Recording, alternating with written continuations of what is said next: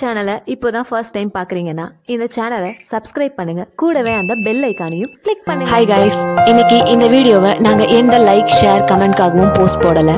Just எங்களுக்கு பர்சனலாக feel ஆன சில விஷயத்தை உங்கள் கூட ஷேர் பண்ணிக்கலாம் அப்படின்றதுக்காக தான் இந்த வீடியோ நாங்கள் அப்லோட் பண்ணுறோம் தவறு என சொல்லி சொல்லி தலைப்பறிக்க சட்டமில்லாமல் போனதன் விளைவோ இன்னொரு தவறு.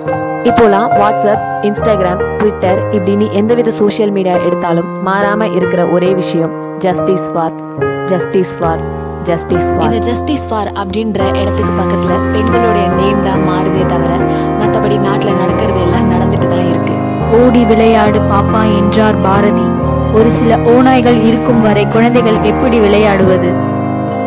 மொட்டுகளை பிழித்து கசக்கி போடும் கழிவுகளை ஒப்பிட முடியாது மிருகத்துடனும். நம்மிடையே நடமாடும் விஷ கழிவுகளை வேறறுப்போம். பாலியல் பலாத்காரம் என்ற சொல் இனி பாழாய் போகட்டும். தப்பு எங்கேருந்து ஆரம்பிக்குதுன்னு நினைக்கிறீங்க? எல்லாமே நம்ம கிட்ட இருந்து தாங்க ஸ்டார்ட் ஆகுது. பிறக்கிறப்பயே ஆண் குழந்தை பிறந்தா சந்தோஷப்படுறதும் பெண் குழந்தை பிறந்தா உதட்டளவில் மட்டும் புன்னகிக்கிறதும் இன்னும் நம்ம கிட்ட மாறாம இருக்குங்க. பெண் குழந்தைக்கு பேட் டச் குட் டச் அப்படின்னு சொல்லித்தர நம்ம ஆண் குழந்தைக்கு டோன்ட் டச்னு சொல்லித்தர மறந்துடுறோம். பெண்ணின் கதறல். ஏழாம் வாரத்தில் கண்களால் அனைத்தையும் ரசித்தேன் ஏழாம் மாதத்தில் வலிகளோடு சத்தம் செய்தேன். ஏழாம் வயதில் மாமா என்றவுடன் கன்னித்தன்மையை இழந்தேன். பதினேழாம் வயதில் அண்ணன் என்றவுடன் கற்பை இழந்தேன். இருபத்தி ஏழாம் வயதில் நண்பன் என்றவுடன் மானத்தை இழந்தேன்.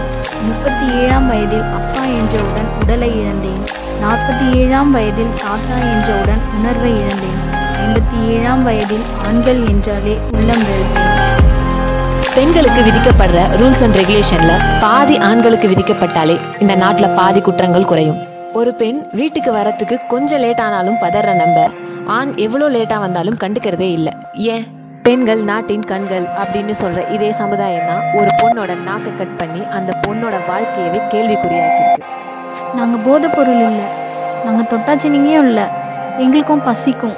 சிரிப்போம் தூங்குவோம் திட்டுவோம் கோவம் வரும். உங்களுக்கு அடித்தா வலிக்கிற மாதிரி எங்களுக்கும் வலிக்கும். உங்களுக்கு இருக்க உணர்வு உங்களுக்கு இருக்கிற அந்த வலி வேதனை எல்லாமே எங்களுக்கும் இருக்கு.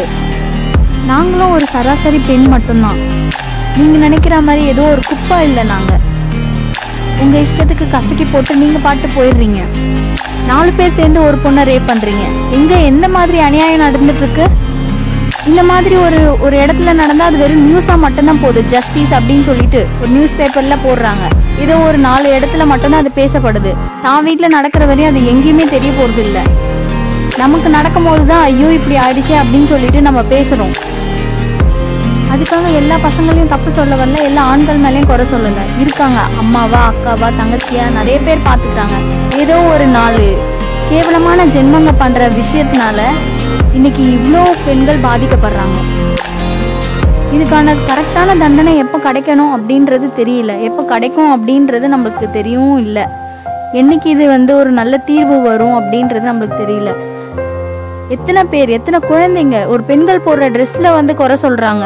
அப்ப அந்த சின்ன குழந்தைங்க என்ன பண்ணாங்க? அந்த பிஞ்சு குழந்தைங்க கிட்ட என்ன பார்த்தாங்க? அப்படி என்ன ஒரு வெறி? ஸோ ஒரு விஷயத்த ஞாபகம் வச்சுக்கோங்க. ஒரு பெண்ணோட வாழ்க்கையை அழிக்கிறது ரொம்ப ஈஸி ஆனால் ஒரு பெண்ணா வாழ்ந்து காட்டுறது ரொம்ப கஷ்டங்க. ஸோ இது மாதிரி வாழ்ந்து பார்க்குற ஒரு ஒரு பெண்ணுக்கு மட்டும்தான் அதோட வழி தெரியும். அண்ட் கேர்ள்ஸ் எதுக்கும் பயப்படாதீங்க. எதுனாலும் தைரியமாக ஃபேஸ் பண்ண கற்றுக்கோங்க எங்கே போனாலும் சரி வந்தாலும் சரி உங்கள் பேரண்ட்ஸ் கிட்ட இன்டிமேட் பண்ணுங்கள் இது எல்லாம் மற்றவங்க நல்லதுக்காக இல்லைங்க. ஜஸ்ட் உங்களோட நல்லதுக்காகவும் உங்களோட சேஃப்டிக்காக மட்டும்தான். பெண் பூ போன்றவள் அதனால் தானோ நுகர்ந்து விட்டு கசக்கி எறியப்படுகிறாள். நிர்பயாவில் தொடங்கி இங்கே முடிந்தது என்று சொல்ல எனக்கும் ஆசைதான். ஆனால் அது தொடர்ந்து தொடர்ந்து தொடர்ந்து கொண்டேதான் இருக்கிறது. பெண்ணவள் ஏன்? எப்பொழுது? எப்படி சென்றாள்? என்ற கேள்வி தொடுப்பது நிற்குமாயின்? அன்று பலாத்காரம் தொடராமல் நிற்கும்.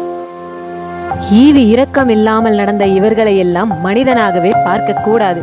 நம்மை தாக்க வரும் கொடிய மிருகங்களை என்ன செய்வோமோ அப்படித்தான் இவர்களை எல்லாம் தண்டிக்க வேண்டுமே தவிர கருணை காட்டக்கூடாது கடவுளின் பார்வை வளையத்திற்குள் நாம் இருக்கிறோம் என்பது ஒருவேளை கண்மூடித்தனமானதாகவே இருக்கட்டும்.